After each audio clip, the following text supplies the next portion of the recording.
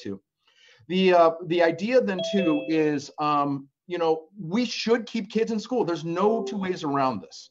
Uh, kids, I, I know my youngest has performed so much better being in school. I understand that. Um, I think we all understand that that's kind of a proven fact out there. But uh, again, there are some experts out there that say, yeah, that can happen, but only to a certain extent of the amount of, of disease in your community. Right now, and I haven't looked today because I, I, again, um, I, I kind of didn't want to uh, because I, I, was a little nervous to see where we're at. But yesterday we were about 750 per 100,000. Um, we're getting in new cases 300 a day. Uh, we got a, uh, as I understand it from staff, we got a dump yesterday from the state. Um, around 600. Now that's just not for one day, but that that's going to be over a couple days. But we got an immediate dump of so. I, I, can show you numbers. We can discuss that, but it, it just continues to grow. Um, I, I, it's almost useless now to show some of the graphs we've been for the last couple weeks because they just get worse. Um, so what's the idea here? Um, I, am going to save the, I think the most, one of the, one of the more uh, discussion points for the end here, but I kind of want to walk through the resolution itself um, you know, we we did state some numbers, okay, and um, our our pop-up testing last week, right now, we're over 20% positivity rate from the 4,500 that we did. We don't have all the data in yet uh, because we're still receiving information, but that's that is significant. Uh, the positivity rate in, in, in Lucas County, um, you know, is well over I think the 15% that the governor said of the state. So uh, again, something to, to think about. The the idea here um, again, is to be measured. We talked about kids being in school and how important it is, but the thought here is we need to be measured. We, meet, we need to be deliberate. We need to take the best possible action we can to, uh, again, make sure that we're protecting the community from COVID, protecting the hospitals, but then also then to understand that kids have needs, parents have needs. Uh, we, we have to do some things. So taking the data that we know and, and some of the uh, some of the research out there, uh, looked at let, let's let's kind of split split the kids, if you would, um, relative to grades. So we know that maybe the younger group of kids isn't so easy to spread. The way that their their schools are made up are such that they're they don't move around. Unlike the older kids, they do move around from class to class.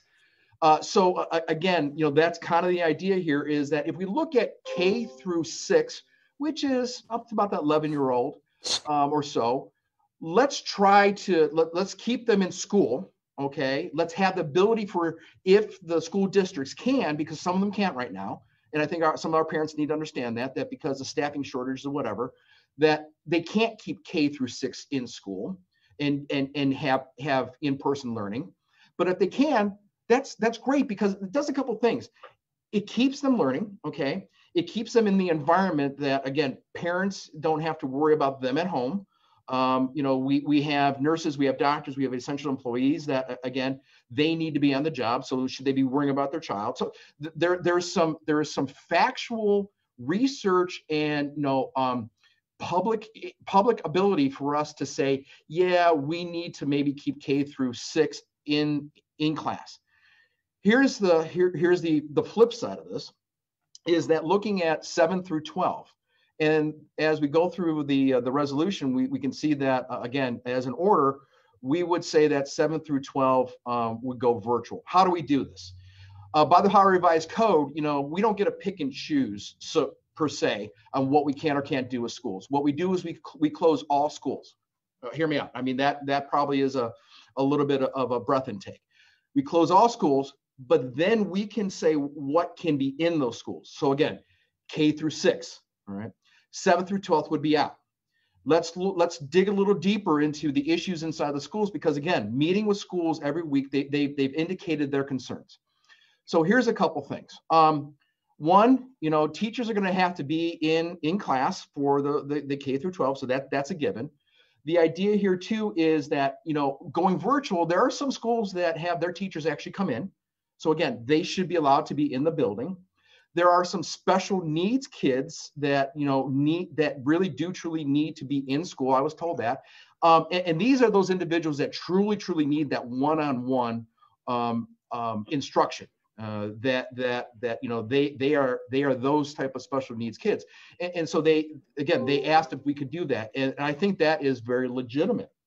Um, you know, the the idea then too of um, why why we're doing that. Um, I, I, think it, it, allows it's measured. It allows those um, those those those individuals that truly need to be in there to be in there while we're getting those other individuals out. As well then too as and i didn't realize this exam time is now.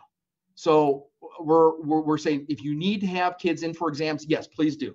Let, us not let's not destroy an education uh, by not being able to ha- take an exam or that they have to figure out some other way. So again those are some things that are, are, are allowed what about time frame all right so I would right now recommend um, if, if an order is passed such as this, uh, to immediately recommend that schools follow the order by again going virtual or K through six.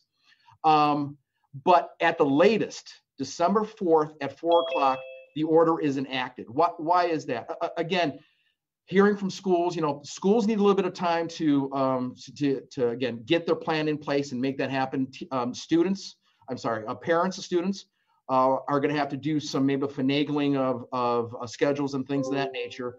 So give them some time. I, I do believe talking with some of the uh, principals and superintendents, uh, they they probably will not come back starting the 30th that they would adhere to something that we would we would order.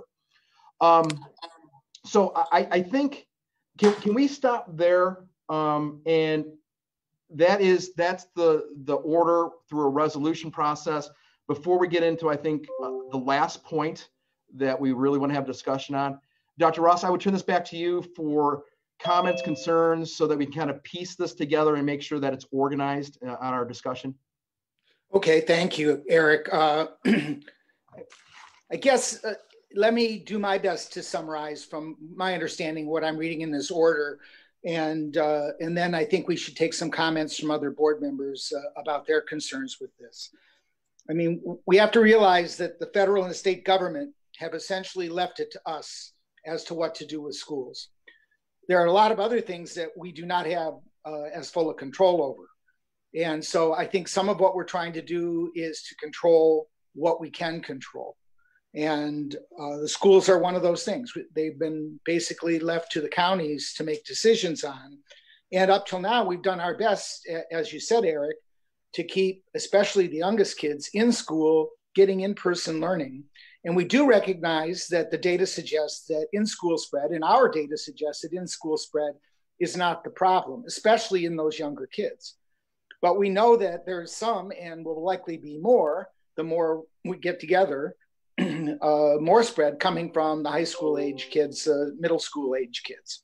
And that that is indeed a fact. We know that uh, as the case counts go above 100 per uh, 100 per 100,000, and we've been on a couple of days at 500 per 100,000. Correct me if I'm wrong, Eric, but we've been five times the level where experts say that there can be uh, community spread through via the schools, and our positivity rate greater than 10%. Well, we've been well above 10%. Uh, so we're at a point where the experts would say there's a good chance that we will be seeing spread through the schools. We're going to see spread just about everywhere. In all honesty, if it was solely up to me, I would be closing res- restaurants in the state. Uh, I would be closing bars in the state, other unless they had some way to set things up with social distance outside.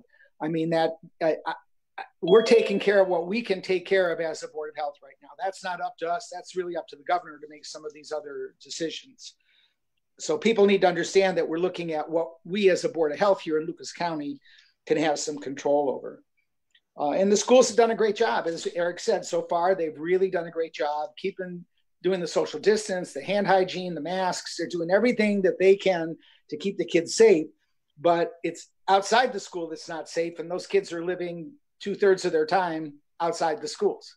So that's kind of what we're facing. Now in the state they've closed down all the universities right? Uh, eric i mean they're they're virtual only now. So so they've made that decision about uh, about our state universities. And uh, so that's already kind of been decided. And again as eric was saying and this is one of my key concerns here we're on the verge of again overwhelming our healthcare resources we've got a situation where we've had our emergency room doctors our first responders our uh, nurses and doctors in the hospitals basically on the front lines, putting their lives at risk for the last eight months now. And they're going to have to continue to do that for a few more months until you know the vaccine uh, is available and, and our healthcare workers are vaccinated. And it's up to us to do everything we can to help them so that they aren't overwhelmed. I mean, the, the fact is is that we just heard that a major hospital in, in Cleveland is about to become overwhelmed. It won't be that long before we are as well. And we know already there are problems with personnel in our hospital systems here in, in Lucas County. So to me, I think the good news, as you said, Eric, is that we've got three vaccines now that look to be pretty effective, some of them very highly effective. So far, at least the early data, they seem safe. We'll have to see. But uh, until we can start getting shots into arms, and give it a month or so for immunity to develop, uh, we don't have anything else we can do other than to try and distance ourselves, wear our masks, do our hand hygiene. That, that's what we've got. And by having the kids uh, in school, especially the, the middle school and, uh, se- and senior high school students, uh, we're just adding fuel to the fire. We don't know exactly how much fuel, but there's some good research to suggest that, that we will be adding fuel to the fire and, and even if those kids just get kind of sick, if they give it to grandma, grandma may not make it. So I think that uh, this is the situation we're in. We're basically asking uh, the schools to give the kids uh, a virtual education only from age uh, from the seventh grade up, and uh, and if they they can make a choice if they want to try to keep the younger kids in school, I don't think that's completely unreasonable but this is what we're facing. And I think that uh, the order to, and I, i'm saying an order, not a recommendation, an order to actually go to virtual only December 4th is, uh, is certainly sensible from what I understand of public health science. So we're trying to follow our, the best advice that we can. We recognize that there are compromises here, that there are difficulties here, that this will have an impact on the families of the kids but I think that's uh, what I would support. And and as I said, if I could shut down even more things, I probably would right now because, as I said in our last meeting, we're on fire, and we need to do something. We need to drop and roll, jump in a pond. I don't care what, you know, if we get dirty or wet, but we are we are about to overwhelm ourselves with this disease in our community, and it's up to us to do whatever we can uh, to try and uh, keep the uh, you know to dig a firewall, whatever you want to think of in terms of this uh, of this disease. So those are my thoughts on it. So this uh, order has my support, Eric, and I'd like to hear from other board members. Dr. Ross, just I, for the board members edification, the reason the reason why we said we recommend to do this right now and not wait to the fourth is that you know we see that we see Thanksgiving we know five to seven days after a large gathering, if they're exposed, they could, uh, you know, uh, be, become infectious, come down with COVID. Uh, so that really is kind of the, the outside window. But we talking with the schools, they do, like I said, they do need some time to, to enact their plans. The reason why we're going January 11th um, is because again, Christmas or the holiday season, um, and then the New Year's holiday. We know after holidays we see a spike. So that's the thinking. And uh, for the most part, it truly is about 15 days only that we're asking, you know, those high school kids to go virtual. So I, I want to make sure that the uh, uh, the board members knew that. Uh, Eric, do you want to uh, say anything more about the athletics part of this, or do you want to save that? Yeah, no. I, I, if there's if if there are no real concerns so far with what we've talked about, if we're kind of if we're in an agreement, um, again, that doesn't preclude us from having conversations here after we talk about sports um, and extracurriculars. Um, but I, do believe um, I do believe that uh, learning what we did yesterday with Cleveland, um, you know, we we've been talking with the schools about sports and extracurricular activities and I just don't want to focus here on sports. I think the extracurriculars are important too. Um, you know, we've we've had outbreaks um, from bands and and other extracurricular activity groups. So again, it's just not sports. Sports, we've had outbreaks. Uh, you know, we've had to quarantine entire teams. So we, we do know that uh, again, just by the nature of sports and some of these extracurricular activities, the ability for the disease to jump inside of those groups is is large. Uh, so we, we really started um, looking at the sports issue. Uh, and what do we do in the extracurricular activity? Th- these are important things for our kids. Um, and we, have talked about this. Uh, it, for some of our kids, it's almost as important as the academics uh, because of the, the things that they learn as an athlete or in those in those disciplines uh, that are those extracurricular activities. But unfortunately, um, you know, the the idea here with the if you could if you would the coming tide that we predict, uh, it, it would not be it would not be as as beneficial to us if we would continue with sports the way they are. Um, I, I, do know that um, you know the the governor has looked at a couple different things, but here locally, um, you know, I I would I would suggest to the board uh, that we would we would actually I'll, I'll read this to you the way that it's stated. To limit COVID-19 spread among students, all sports and extracurricular activities are prohibited from utilizing any building interior space for practice or contents, content, contests during the same time period. Uh, again, um, th- this is a tough one, um, as well as the academic, because it's almost you almost need to take it in two parts. But again, um, we're not we're, we're not saying to stop. We're saying to take a pause. And I, I wanted to offer that to the board for discussion. I do believe this might add a little bit more discussion or have a little bit more discussion than the first section. So, um, Dr. Ross, that would be my recommendation for the order. Okay. Well, I think uh, there are issues here that are not, I, I mean, I wish we could be 100% positive about, you know, what the impact of this will be. And I don't think we can. Um, the the and again the you know the governor has uh, uh, ultimate authority on this, if I understand right, Eric. But uh, it, at this particular point, it's up to us to say that there's enough community spread going on that we believe that it's going to end up in the schools, and then that that's going to reignite an even bigger fire back in the community. And that's what we believe will happen if we don't take some action now. Um, so I, you know, I've been watching the chat here, just so you're aware, Eric. I don't know if you have been, but there's a lot of things that people are saying, and they're questioning the correctness of what we're saying. For example, they're questioning whether the universities in the state are closed. Um, they're saying UT is still open. I don't, I don't know that for a fact.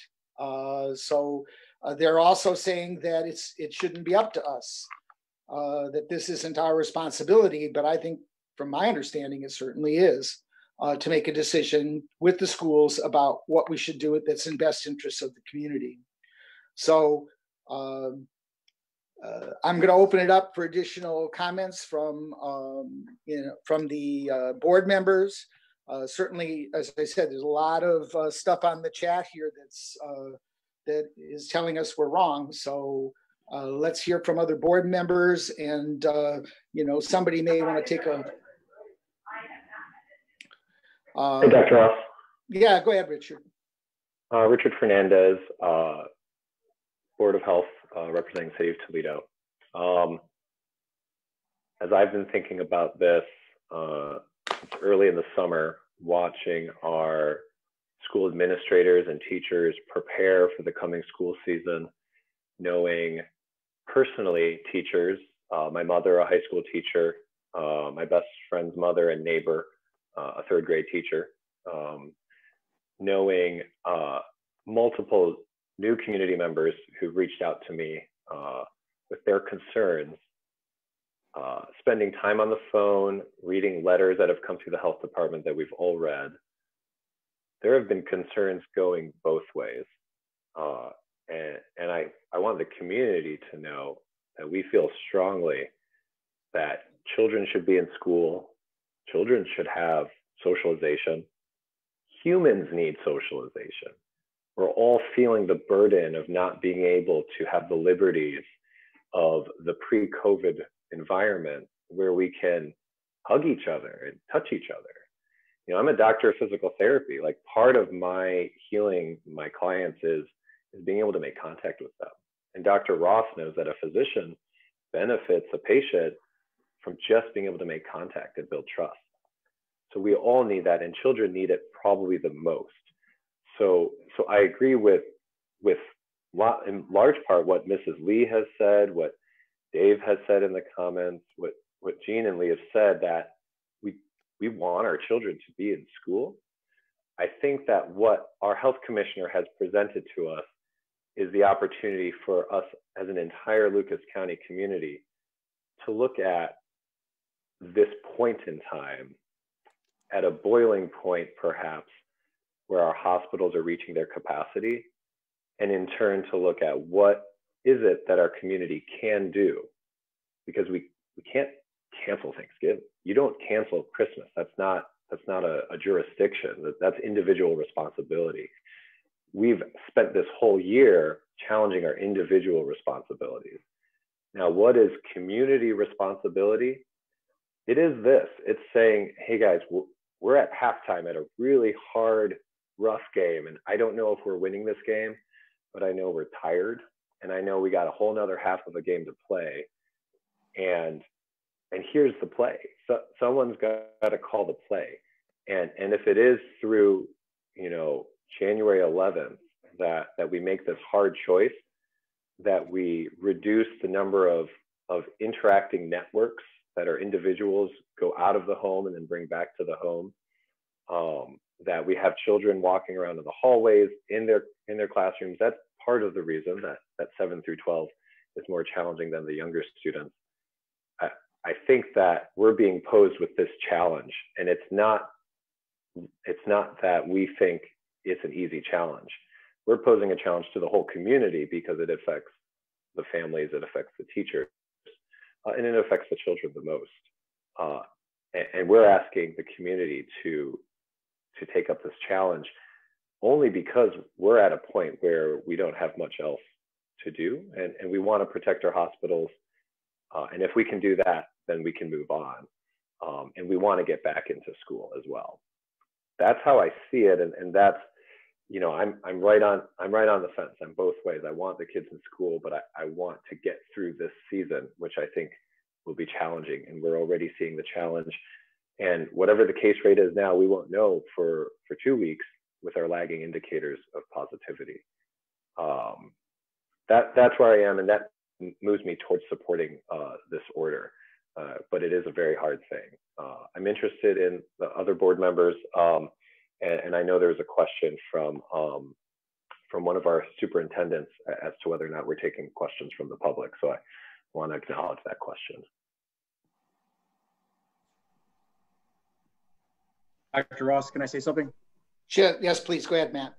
Thank you. Um, you know, I, one of the comments I saw in there um, was talking about whether the board is made up of elected officials or non-elected officials, and and I think this is uh, a good point and a good question to be raised. So, the board of health is created um, through uh, state statute to be a representation of our community, and, and I think it's important to emphasize that that what you see before you are nine of 12 of the citizens in which each of the jurisdictions that represent and the elected officials that represent those jurisdictions have appointed. We have come from all corners of Lucas County, um, whether that is out in the townships where I live or in the city where I know Dr. Fernandez lives, um, and we're out to uh, the city of Oregon where Michelle Schultz lives. So we, we all come from different portions of our community. We all come from diverse backgrounds, um, and we're all a portion of this board and I think the intent of putting this decision within the hands of a board of health is the intent that it is made by a group of citizens and a group of residents of our community because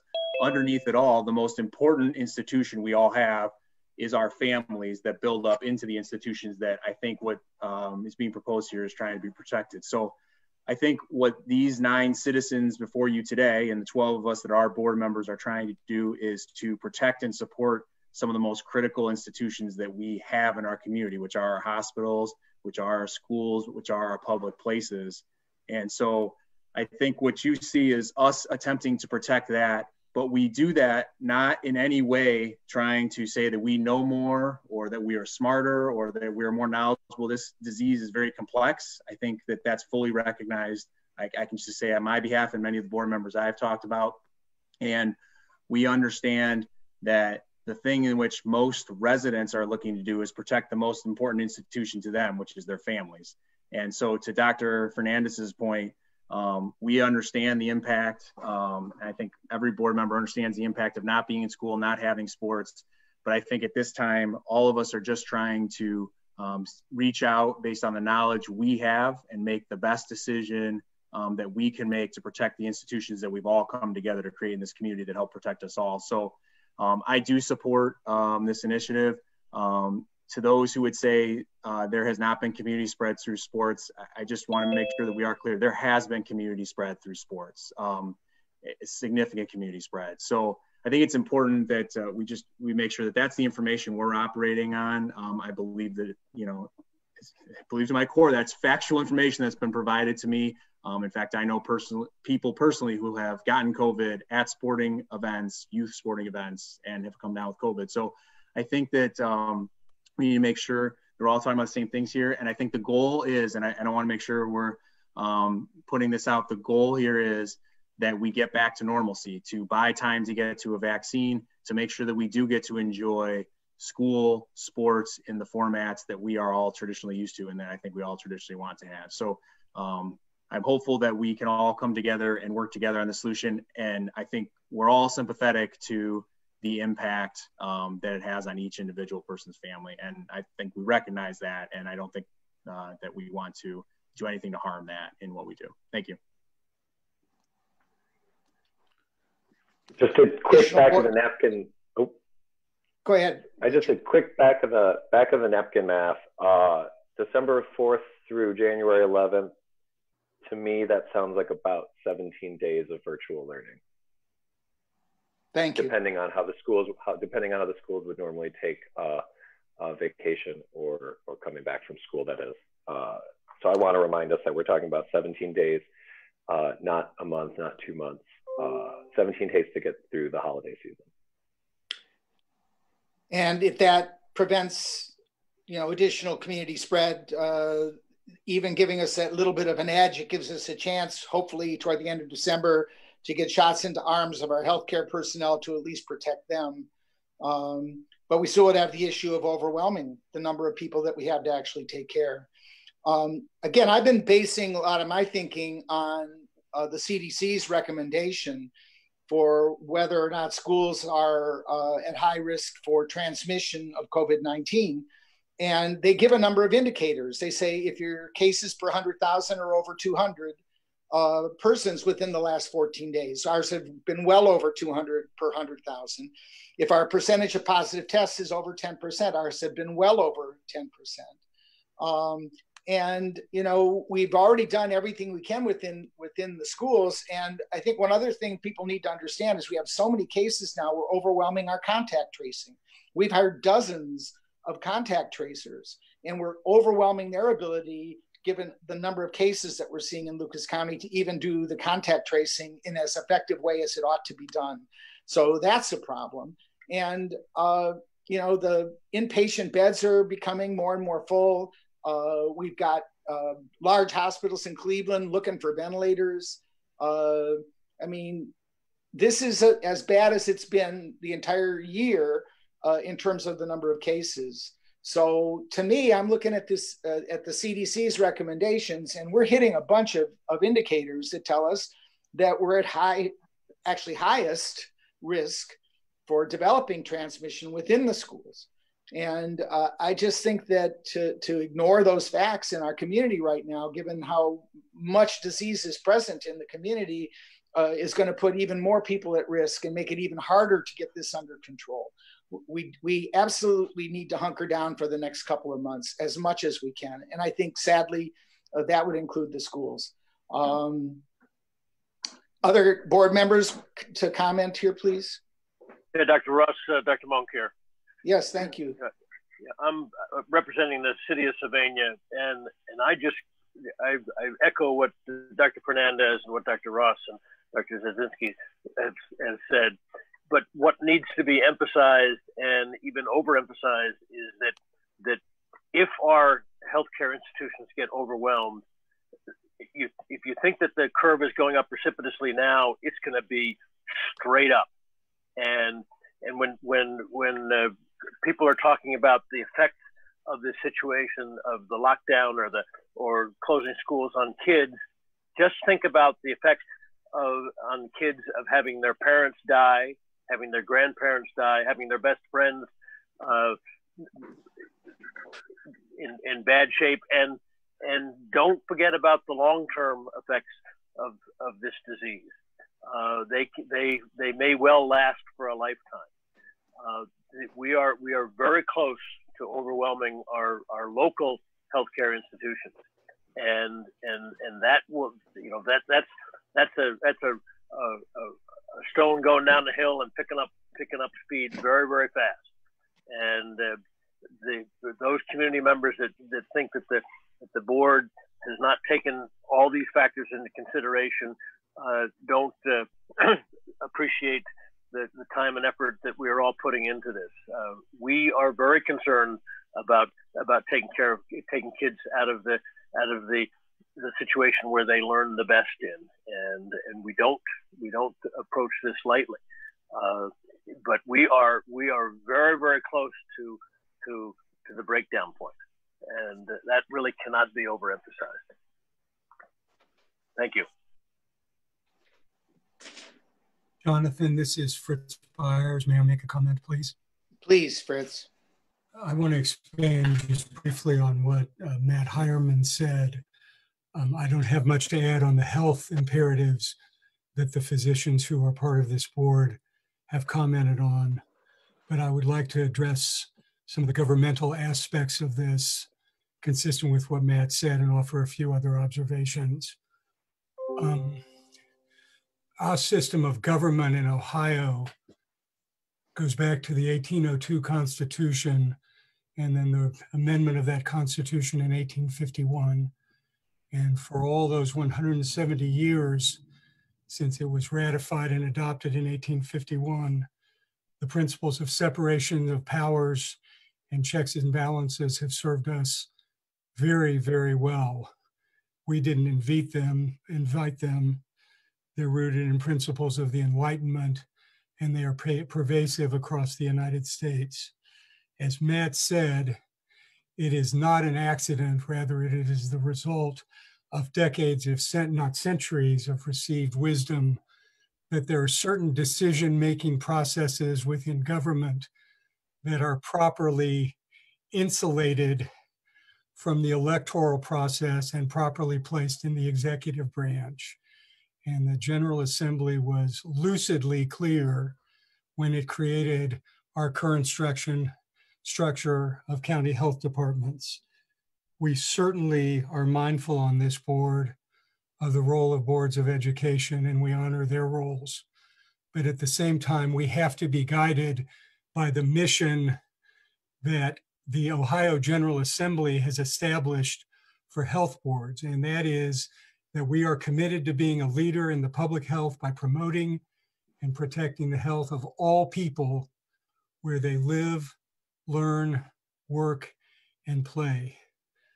My sense is that the various epidemiological and demographic imperatives that we face now, which the physicians have spoken today much more clearly than I would be able to, make clear that if we were to act responsively for all the people of Lucas County in our community where they live, learn, work, and play. The order that we are contemplating today is the responsible thing for this health department to undertake. And I am strongly in favor of it. I am, I assure you all, mindful of the difficulties this presents for an, in an educational setting but there is no doubt whatsoever in my mind that in furtherance of our mission assigned to us by the Ohio General Assembly, consistent with the principles of the Ohio Constitution, that we are doing the right thing. And I stand strongly in favor of the order. Thank you, Fritz. Uh, other members of the board, would, would they like to comment?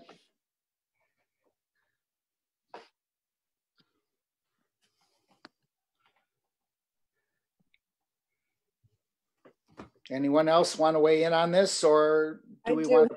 Okay, thank you. Stana? Thank you. This is Dr. Donna Woodson.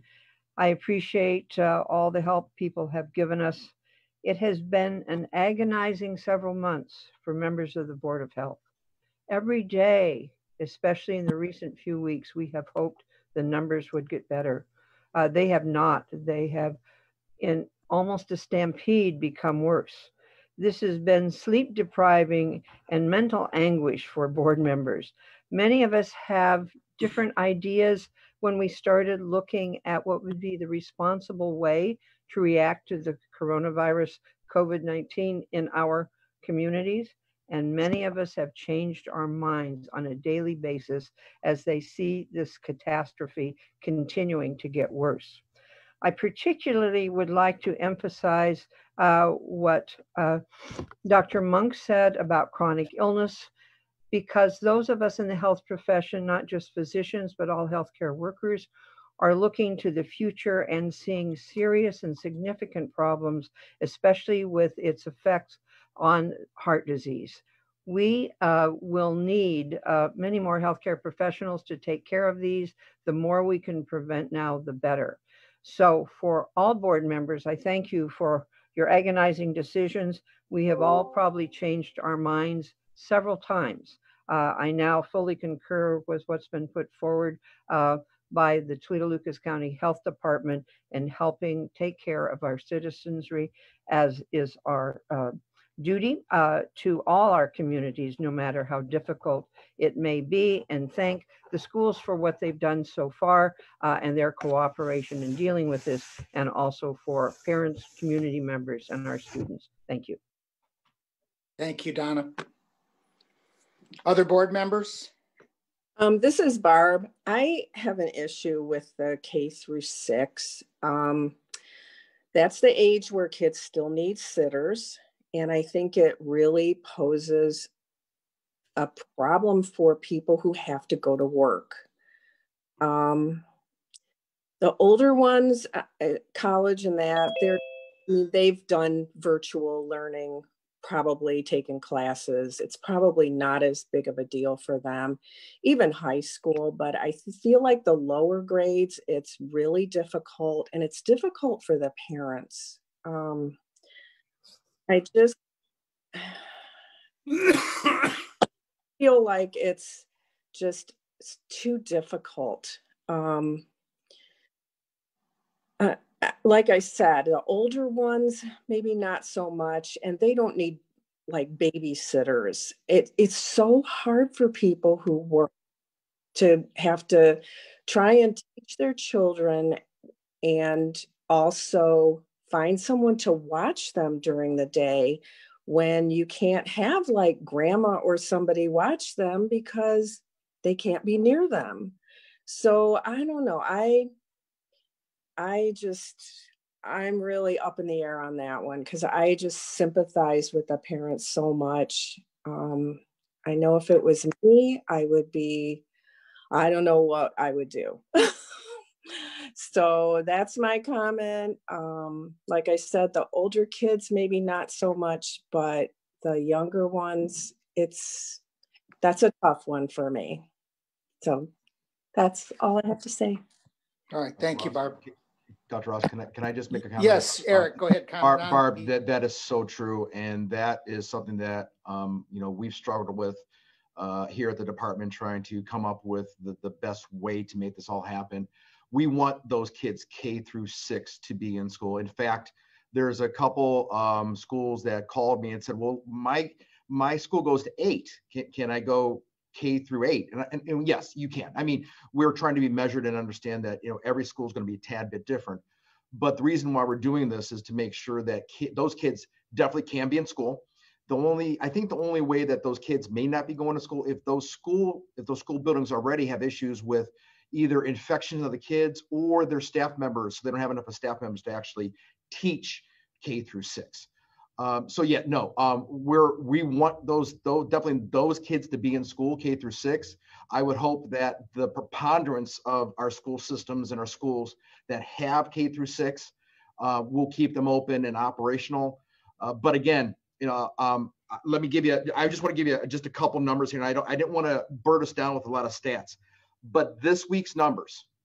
Currently, there are 99 confirmed, if you would, cases of COVID in our student population in in in Lucas County. That that, that may not seem much, but remember, we still we, we have some schools that have went virtual, uh, but also this is every week. Currently, we have 1,347 in quarantine. That that that's that's quite a bit of kids.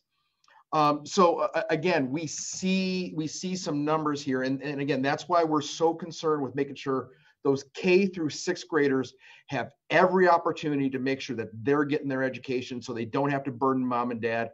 Mom and dad don't have to stay home. We don't got to send them to daycare. Those are all things that um, really would be uh, uh against our thinking here at the department. Okay, other board members. Dr. Ross, this is Michelle Schultz.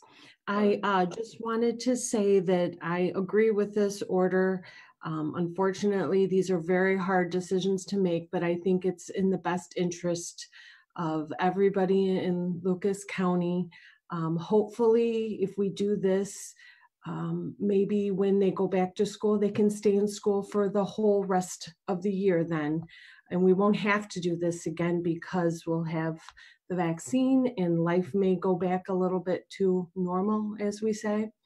Um, so I just wanted to put that on record that I do agree with this order. Thank you. Thank you, Michelle. Any other board members want to comment? Dr. Ross, this is Ted Kazarowski. I want to I want to reserve my comments here just for a moment, if I could. I'd love very much for us to be able to hear some uh, differing opinions if we could. There are some, I think, that here are some people that would like very much to have an opportunity to, to voice their concerns.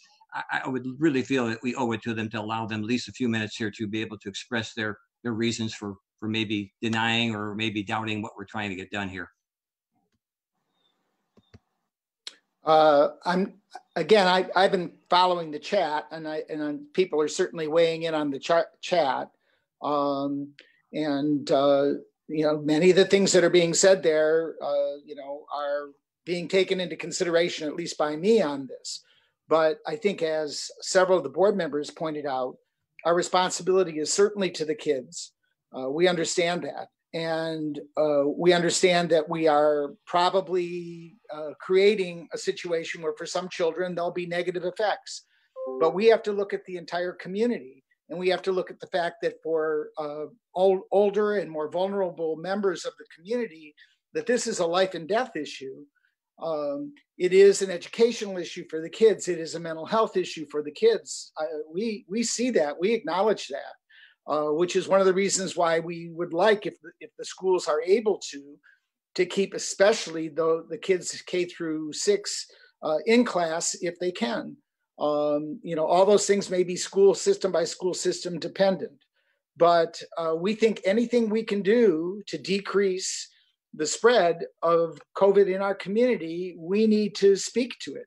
And again, looking at the Center for Disease Control's coronavirus, community schools, childcare indicators, we are busting through the highest risk of transmission in the schools.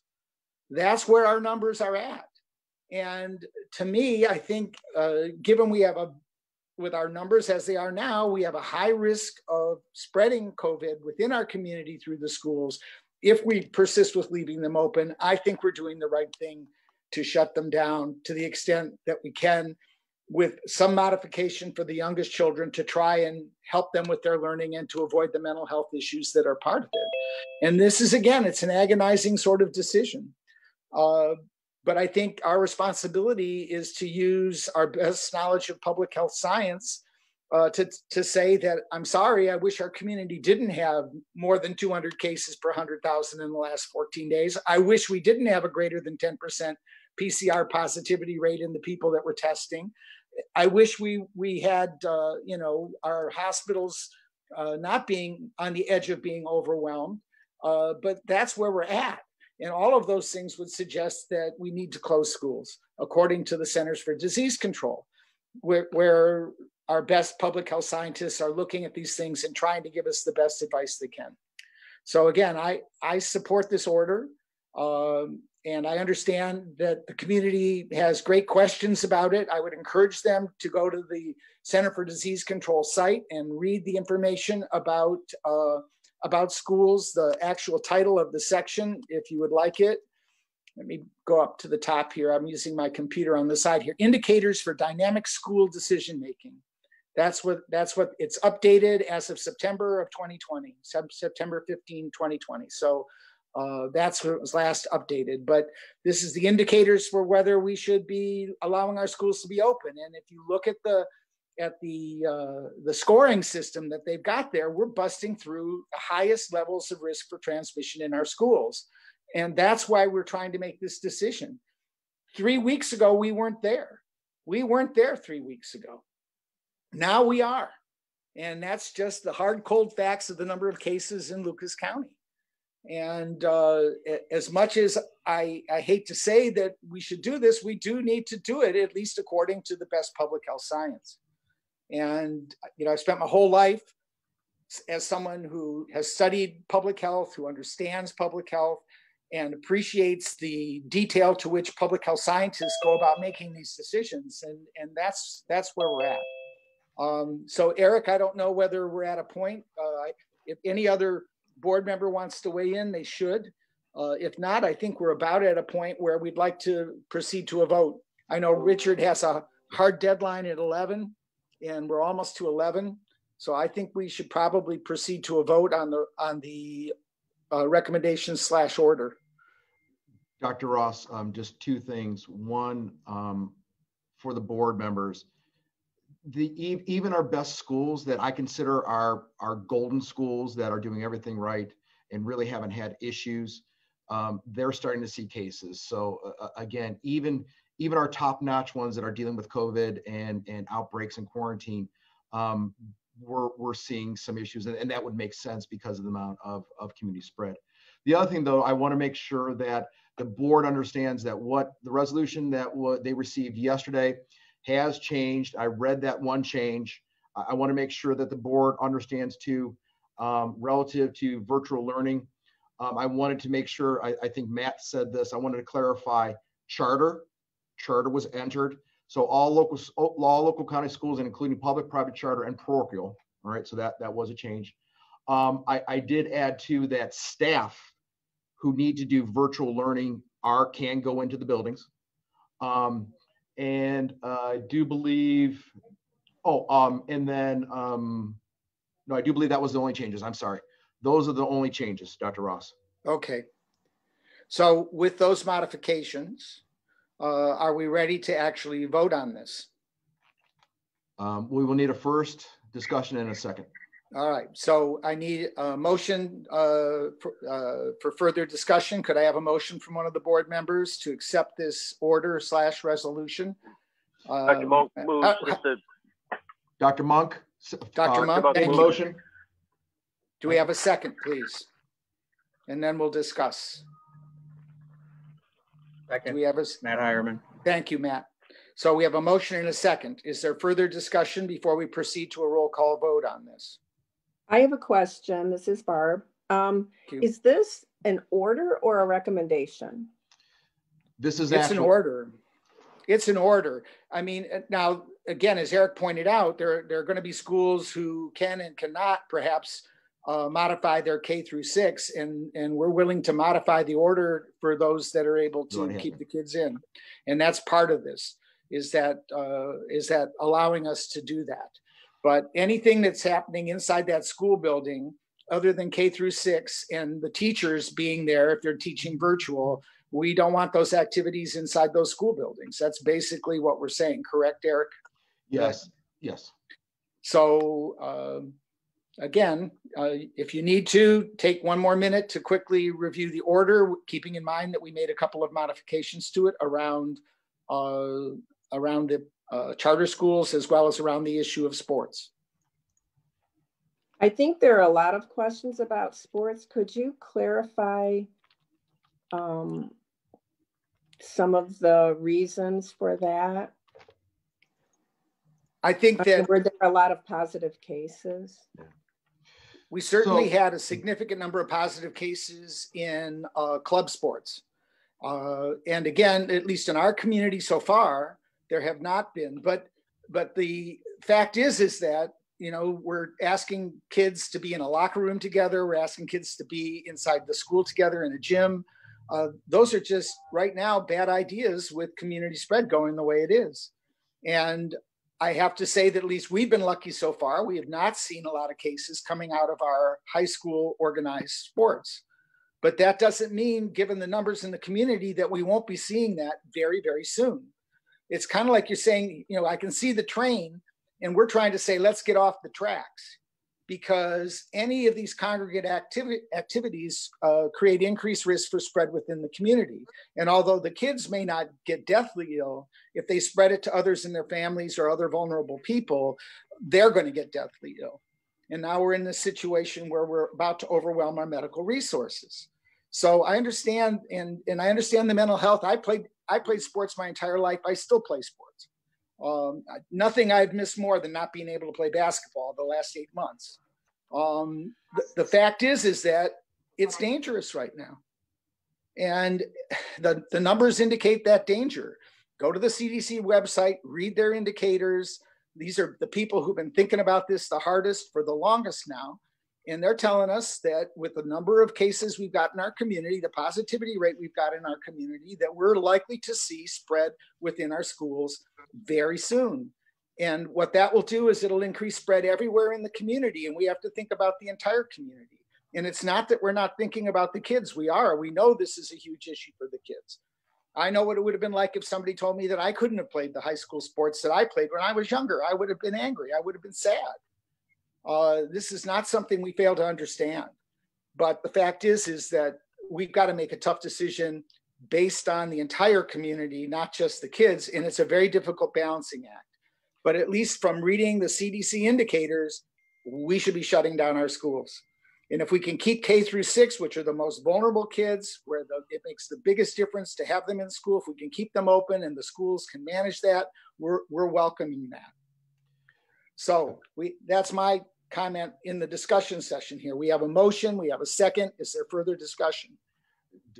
Dr. Ross, just mm -hmm. to, to Barb Saranto's point, th thank you, Barb. Um, every sport, we, we've been we've been looking at sports specifically since summertime. Every sport has had outbreaks, individuals that have been uh, quarantined or isolated. Even even um, e even swimming now, I just found out yesterday uh, we've we've been impacted, which I would have never thought that that would yeah. be a sport that would be impacted. That's, so that's a low we, risk. We have had issues on sporting teams. Uh, we've actually had to, um, you know, um, quarantine entire teams um, this year uh, because of the the of the issues that are bringing into the teams. Um, so again, Barb, yeah, yeah, we've had we've had issues on on those uh, sporting teams.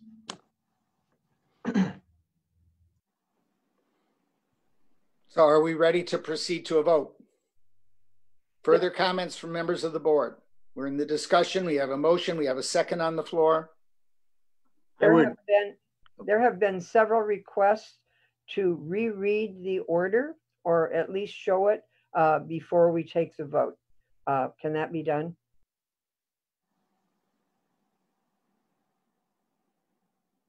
It can be done. I'm worried that we're going to lose one of our board members. I think we still would have a quorum. Eric, would you mind just clarifying the high points of this, exactly what schools are covered, the dates from which they are covered, um, what kinds of schools are covered, and the sports that are covered and how they're covered? Could you just, just hit the high points of that to make sure that it's clear? You're muted, Eric.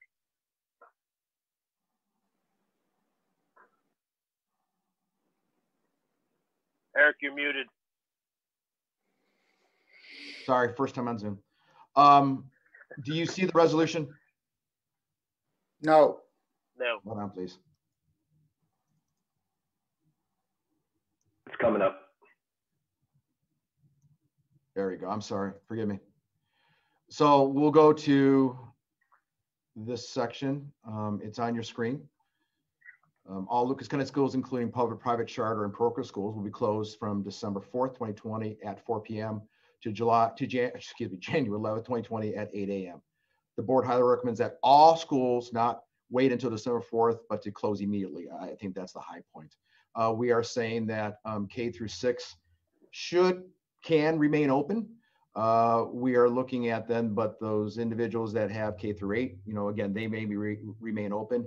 However, we are really looking at that seventh to 12th graders to go virtual. Um, those parochial schools or religious schools uh, may hold religious classes and ceremonies. The um, the idea then too is uh, again, if if there's a hybrid or or something along those lines for those elementary those elementary schools to do, that's that's fine as well too.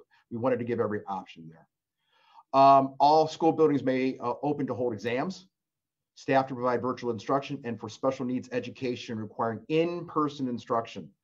Uh, these dates were chosen to limit the the, the number of times students will need to switch between virtual and in-person learning mo models due to holiday breaks that the schools have already scheduled. I think this is another high point to limit COVID-19 spread among students. All sports and extracurricular activities are prohibited from utilizing any school building's interior space for practice or contest contests during the same time period. What this truly means is that, uh, again, um, CYO uh, other other entities, not just high school sports, um, should not be inside of those buildings. Matt, does that does that work? Yeah, I think so. I think it was just, uh, and thank you, Dr. Woodson, as well. It's just, I just think everyone wanted to make sure we're clarifying exactly what's covered and, and what is not covered. So thank you. Sure.